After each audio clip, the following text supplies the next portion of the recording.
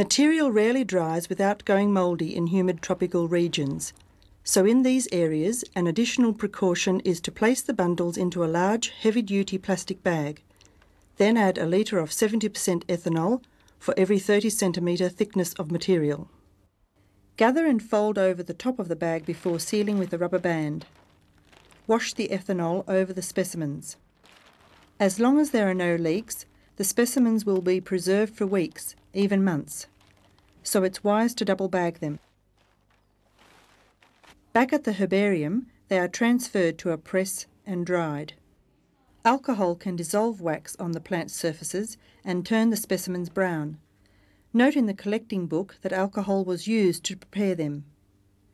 Material for anatomical and embryological study, as well as some very delicate species, are best preserved in liquid fixative. A common mix is formalin, propionic acid and ethanol. To maximise infiltration of the solution, cut the material to size. Remember to put a tag with the collector's name and number. The containers need to be leak-proof. Use plenty of liquid. After three days or more, the FPA can be decanted into a waste bottle and replaced with an 18 to 1 solution of 70% ethanol and glycerol for indefinite storage. Take care to avoid contact with or even breathing the solution. Formaldehyde in particular is toxic. A word of caution. Only use these techniques under guidance and with the correct safety procedures. The Herbarium Handbook by Bridson and Forman has details of these techniques. Plant DNA is well preserved when plant material is cut into small pieces and dried in fine-grade silica gel. This material can be stored for later extraction and study. Dried fine-grade silica gel approximately 100 to 200 grams with some indicator crystals, are placed in Ziploc bags. About 100 grams of healthy young foliage is placed in the bags with the bag sealed. When propagation from seed or cuttings is difficult, transplanting whole plants may be an option. Try to remove the root system intact. Reduce water loss by cutting back the foliage portion of the plant. If returning to your work base within two days, place the plants in open plastic bags and water lightly. Keep out of direct sunlight. Generally, pot up on return. In the case of grasses and other monocots, leave them for up to three days, then pot up. This will encourage new root formation. If you are more than two days away from your work base, wrap the plants in moist newspaper. And remember, pickled silica gel or living material samples should always be complemented by a standard herbarium specimen or voucher. That covers general collecting techniques. We'll look now at some material that requires a bit more specialised handling. Plants with bisexual or hermaphrodite flowers require only one collection to secure male and female parts. Monoecious plants may have male and female flowers mixed or separated on different parts of an individual plant. If they are segregated, sample branches with female and male flowers as part of one collection. Two separately and consecutively numbered specimens should be made for dioecious plants. Cross-reference the numbers in the collecting book and refer to the sex of the other specimen. Otherwise, material from each plant is on a separate sheet with separate collecting numbers for material from different individuals, even those of the same species. A good eucalypt specimen includes adult and juvenile foliage, well-developed flower buds and mature fruit. Be sure to record the bark type. Additional material might include some bark and flowers. When pressing big leaves, Cut the leaf with a portion of the branch to show the leaf arrangement and axillary bud. Slightly oversized specimens can be bent or zigzagged to fit one sheet.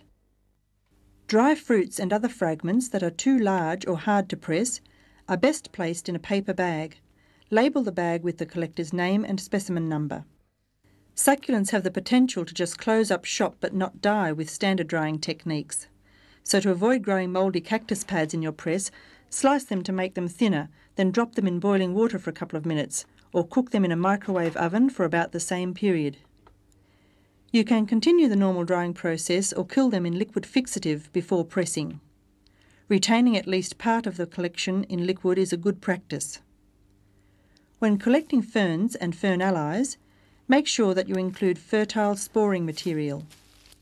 Sporing leaves have yellow to brown spots or lines on their underside. The rhizome should be sampled too. Where the fertile and sterile fronds are different in shape or dimorphic, take both. For tree ferns, a sample of the base of a frond with any scales is also important. Bryophytes, that is mosses and liverworts, and lichens are generally best collected into labelled paper bags. Bryophytes and lichens growing on leaves can be gently pressed as for vascular plants. When pressing very large leaves, again collect the leaf attached to some of the branch. If the leaves are too large to fit on one sheet, cut the specimen and prepare more than one sheet.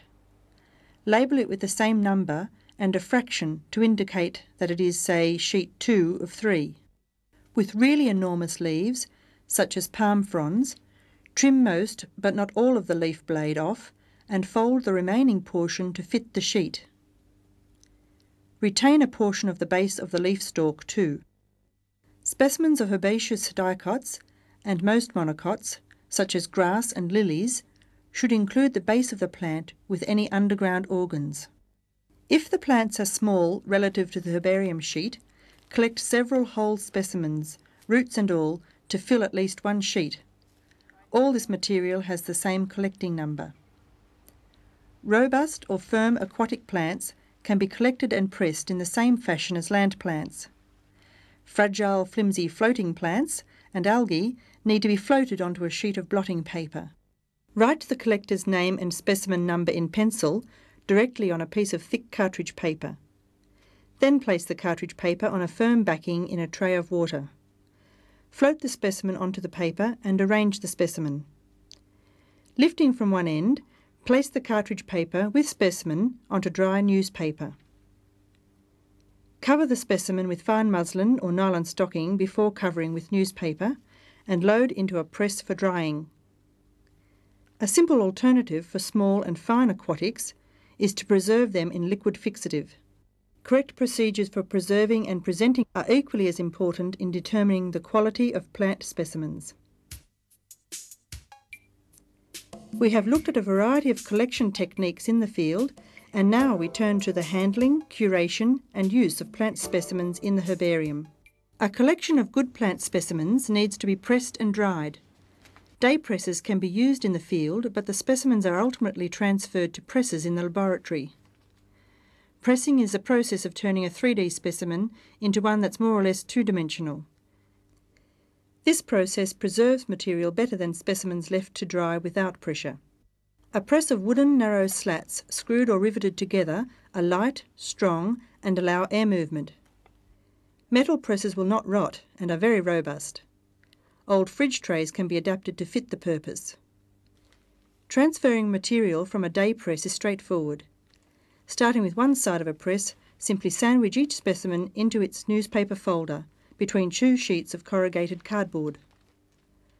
For most specimens, tabloid newspapers make ideal folders, interwoven around the specimen. They're more convenient than broadsheets and not so tempting to read. For bulky and uneven specimens, Add one or more sheets of foam to maintain even pressure across the whole of the specimen. A foam substitute is crumpled paper. Placing a sheet of corrugated cardboard between each wrapped specimen will allow greater airflow and faster drying of the specimens. For grasses and most sclerophyllous specimens, this is all that's needed. When dealing with soft, broad-leaved or moist plant specimens, especially when working in the tropics, Aluminium sheets will speed up heat transfer and drying. Sandwich the aluminium between cardboard corrugates and complete the press with the second side and strap. The stack can be as tall as the straps are long. Straps can be simple cord, rope or leather belts, but these are made from strong nylon webbing with snap-shut buckles. They are long enough to make a very large press.